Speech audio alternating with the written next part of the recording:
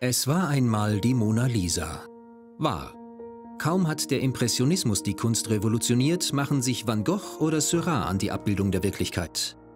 Um die Jahrhundertwende tritt der Symbolismus auf den Plan. In den Bildern von Gauguin, der Literatur von Mallarmé oder Rilke, in der Musik von Debussy. 1905 setzen die Fauvisten Matisse und de Vlaming auf reine Farben, während in Deutschland der Expressionismus erblüht. In Dresden entsteht rund um Kirchner die Brücke. Kandinsky, Klee und Mark gründen 1911 den Blauen Reiter.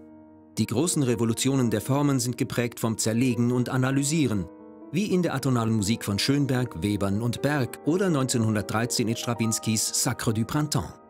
In der Malerei führen Brax und Picassos Kubismus und Marinettis Futurismus geradewegs zur abstrakten Kunst von Malevich, Kandinsky, Picabia und den ersten Readymates von Marcel Duchamp. Ihre Kunst ist allerdings eher elitär.